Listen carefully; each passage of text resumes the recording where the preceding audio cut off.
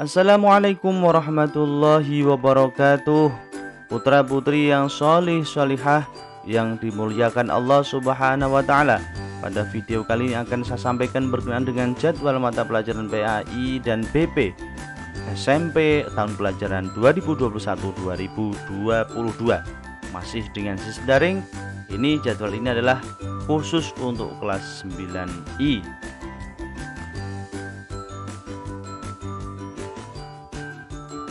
Jadwal pelajaran kelas 9I di hari Senin ada MTK yaitu jam pertama mulai 07.00 09.00 WIB ada PAI dan BP di jam kedua 09.00 sampai 11.00 WIB di hari Selasa ada IPS jam pertama mulai 07.00 sampai 09.00 WIB dan ada bahasa Inggris di jam kedua mulai 09.00 sampai 11.00 WIB.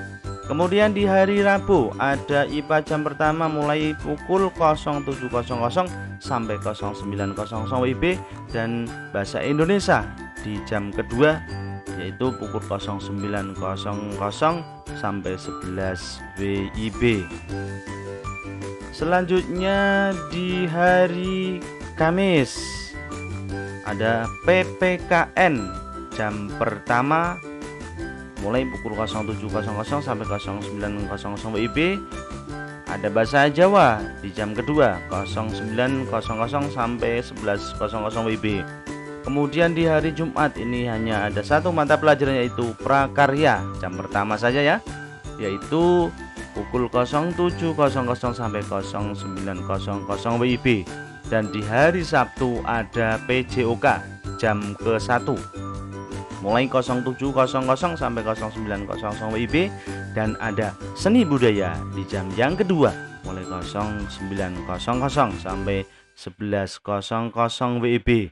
Silahkan kalian dicermati mata pelajaran yang ada, kemudian jadwal-jadwalnya diikuti silahkan dengan sebaik-baiknya dan jangan sampai kalian terbuai dengan kesenangan sesaat artinya bahwa dengan pembelajaran yang daring tidak ada pantauan langsung dari Bapak Ibu guru yang ada di hadapan kalian, kalian akan terlena itu.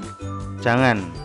Kita tahu bahwa waktu ibarat pedang, al waktu saif illam yaqtahu yaqta'ka.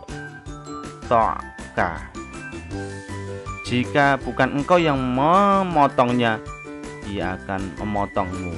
Artinya kalau kita tidak bisa memanfaatkan waktu yang ada maka waktu itu akan berlalu dan waktu itu akan tidak bisa diulang kembali dan kita termasuk orang yang merugi.